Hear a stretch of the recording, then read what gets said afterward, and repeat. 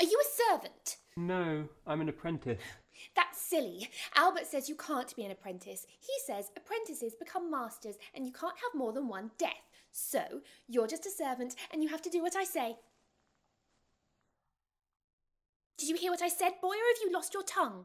Mort. What? My name's Mort. Or Mortimer. Most people call me Mort. Did you want to talk to me about something? Why are you here? Why did father bring you here? He hired me at the hiring fair. All the boys got hired. And me. And do you want to be hired? He's death, you know. The Grim Reaper. He's very important. He's not something you become, he's something you are. I expect it'll turn out for the best. Father always says things generally do.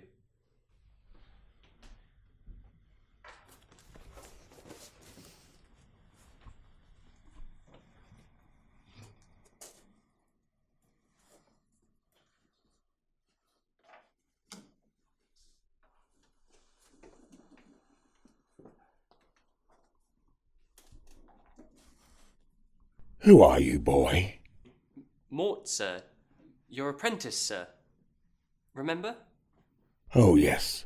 Well, I do sincerely wish to learn the uttermost secrets of time and space. Yes, sir. I think so, sir. Good. The stable's around the back. The shovel hangs just inside the door.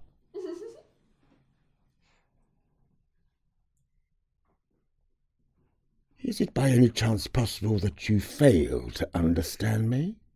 Not fully, sir. Dung, boy. Dung.